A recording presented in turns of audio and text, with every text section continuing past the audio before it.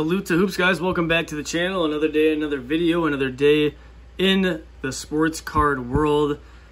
The mood is already set, as you can tell by our lighting. I wanted to make this a brief video for you guys because my last two have been a little on the longer side. So this is going to be a shorter video. Uh, first off, I want to thank you guys for all the support on the channel. We are up to 316 subscribers on the Salute to Hoops channel, which is amazing. I appreciate you guys for all the support thank you guys so much, and hopefully I can continue to bring you guys this content. Uh, today we're gonna go over the Whatnot app and a little do a little bit of review and a little walkthrough on it, and just show you guys what it's all about because I knew nothing about it. So hopefully this is a pretty beneficial video for everyone. So we'll get into that right now, and then when we come back, I will show you guys what I have actually purchased on there. I have made some purchases. I literally made my first purchase on there within like the first 10 minutes of downloading the application on my phone. Uh, so we'll show you guys that, and then that'll be the end of the video. So uh, we'll go ahead and get to the uh, walkthrough right now, and I will see you guys in just a second. Alright guys, so here we have the Whatnot app. I had just found out about this app uh, about a week ago or so, so I figured if I didn't know about it, maybe a lot of other people in the hobby didn't know about it either, so this could be a pretty helpful video. This is the home screen here. Uh, those ones that are in orange right there, those are live auctions currently going on. It gives a brief description on what the seller is selling in them and how many people are in the auction currently. And if we scroll all the way to the right, uh, the ones that are not in orange, uh, these are scheduled auctions uh, for the day, which is also pretty sweet because if you're following a certain person, you know exactly when they're going to be on, and it gives you a brief description on what the seller will be selling. So let's scroll all the way over and we can take a look at what a live auction looks like for you guys. So this guy appears to be selling slabs all day. Brief connection screen and then it takes you to the lobby itself. It looks like a Tyler Herro PSA 10.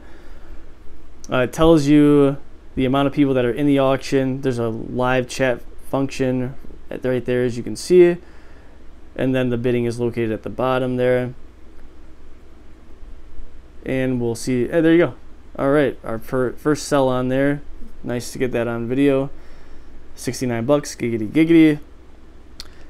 And then the next auction will start. So the seller dictates how long the auction is. It's typically 15, 30, or 60 second auctions.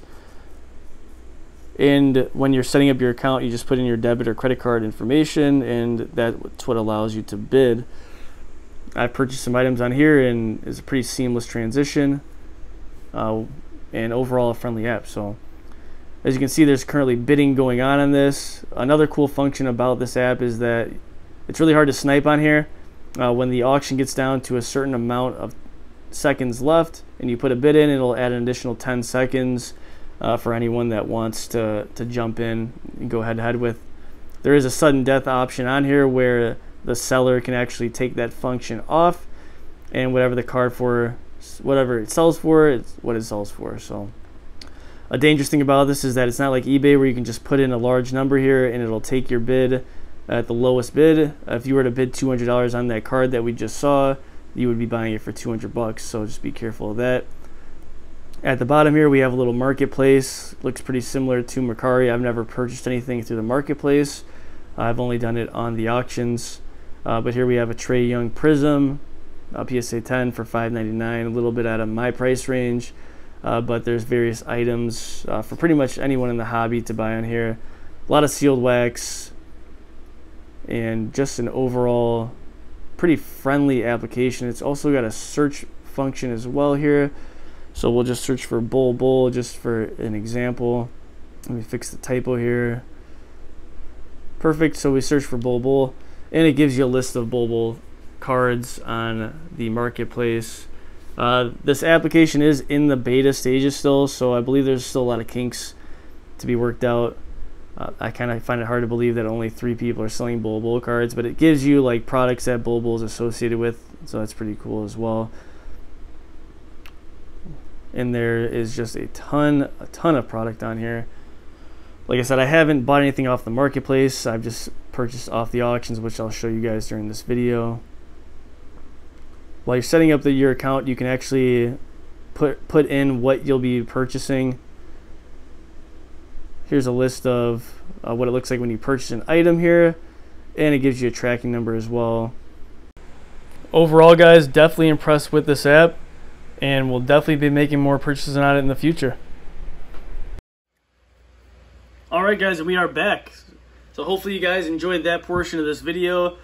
Just a little brief overview on what that app is like. If you haven't signed up already, it's free to sign up. Go ahead and try it out today, guys and see see how you like it. I really think that once they get all the kinks worked out and the beta stage is over, that it's going to be a successful app, uh, especially for the uh, the hobby. Just a new new way to sell because prior to that, people were literally doing the exact same thing, but it was on Instagram, and you know the shipping wasn't as fast, and you know there was always something. So here, there's some transparency, and you don't have to worry about you know the slight chance of getting scammed or anything like that which is amazing. So now we'll go over the cards that I purchased from that app so far. Shipping was super quick, and uh, seems like they take their job real serious on there. So uh, that's uh, definitely another perk of that app. So let's just get into it. Just some lower end guys.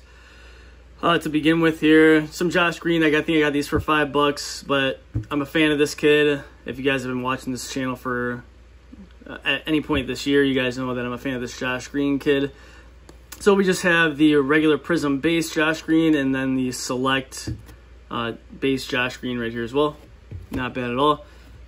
Next we have two cards up. So the original auction on this was just for this Lucas Samanic PSA 9 Silver Prizm Rookie.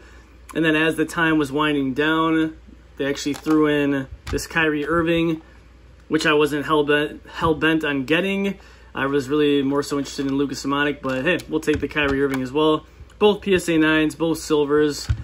Um, I don't know what this Kyrie goes for, but uh, who knows? I might try to sell it. It was just kind of an add-in and kind of just a perk of the deal, so we'll take it. We'll take it. Uh, this Luka, though, you guys know if you've been watching my channel for, I guess, the last year and a half now, I really got into Luka Samanic, uh, geez, during the quarantine, I guess you could say, so hopefully he gets some time this year. He's had some time to develop. If the Spurs give him an opportunity, I really think that we can see something special from that kid. Only 20, only 21 years old. Only 21 years old, so there's a lot of time there. Next up, all all three of these came in a lot. I believe this first one actually got thrown in though, and that is the Coby White Prizm Rookie Base PSA 10. Dope card. Love Coby White. I'm interested to see what the Chicago Bulls are going to do with him this year since we made so many roster moves. Is he going to run that six-man option? Is he going to start? Uh, who knows? But I am. I guess it's a good problem to have when you have too many good players on your team. So we'll see what the Bulls do with him. At this point, I'm just glad the Bulls are in are being talked about uh, in a in a positive light instead of a negative light. So we shall see. We shall see. A couple more months. Next up in that lot was the Coby White Red Mosaic PSA 9. Not numbered or anything, but a gorgeous card nonetheless. And we will be adding this to the Coby White PC.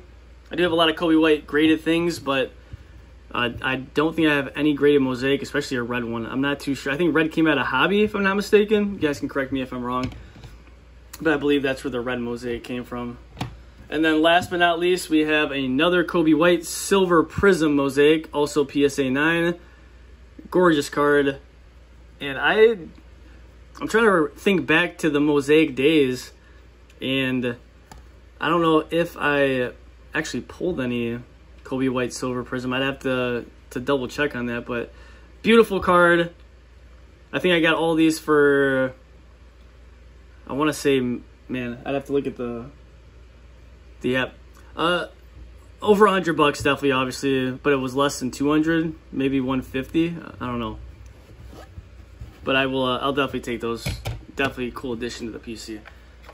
And that's it for, for right now, you guys. I haven't purchased anything else. I'm saving up for the Chicago Sports Spectacular, which is the first week of September, which I'll be getting some footage at. And hopefully, Julius Erving is going to be there. I'm really hoping to get his autograph. So we'll see if we can make that happen for sure. Um, hopefully, you guys are looking forward to that. I know I am. If you're going to be there, let me know. But like I said earlier, a short video for you guys. Hopefully, you enjoyed it. thank you for all the support, guys. And it's just, I'm speechless about it. I never imagined we'd even have this many subscribers on the channel. So thank you guys so much for watching. I will see you guys on the next one. Take it easy.